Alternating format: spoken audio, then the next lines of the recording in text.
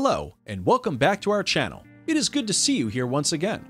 Demand for meat has never been higher, but the way we produce it today is unsustainable and, for some, ethically dubious.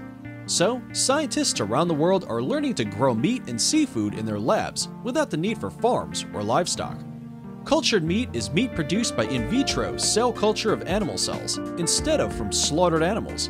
It is a form of cellular agriculture Cultured meat is produced using many of the same tissue engineering techniques traditionally used in regenerative medicine. In 2013, Mark Post, a professor at Maastricht University, was the first to showcase a proof of concept for cultured meat by creating the first burger patty grown directly from cells. Since then, several cultured meat prototypes have gained media attention. However, because of limited dedicated research activities, cultured meat has not yet been commercialized although several plants for the production of cultured meat are already being built. According to New Scientist in May 2020, there were around 60 startups around the world developing and improving the cultured meat process. Some of these did not produce any clean meat themselves, but provided others with the latest technological tools or experimental information. Growth media reportedly still cost hundreds of dollars per liter, but for clean meat production to scale, this needs to drop to around $1 a liter.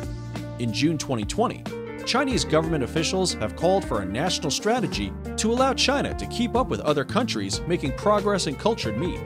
The production of cultured meat is currently very expensive. In 2008, it was about $1 million for a piece of beef weighing 250 grams, and it would take considerable investment to switch to large scale production.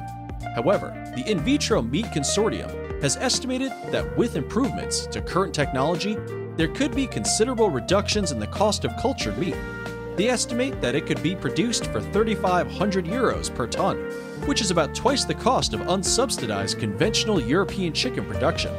In a March 2015 interview with Australia's ABC, Mark Post said that the marginal cost of his team's original 250,000 euro burger was now 8 euros. He estimates that technological advancements would allow the product to be cost competitive to traditionally sourced beef in approximately 10 years. In 2016, the cost of production of cultured beef for food technology company Memphis Meats was $18,000 per pound. As of June 2017, Memphis Meats reduced the cost of production to below $2,400 per pound, and in February 2018 to $1,700 per pound, and even further after that. If meat can be made without raising animals, the health and environmental benefits could be huge. The challenge is to make cultured meat at scale and affordable enough for everyone. So, when will the fruits of the cellular agriculture reach the supermarket shelves? In the next few years, we can expect a few launches of small scale products in high end restaurants. It will be a pretty expensive burger in a restaurant. Our prediction is that by 2030, you might see them on supermarket shelves at a decent price. Did you like this video? Please subscribe to our channel to be the first to see our newest technological reviews.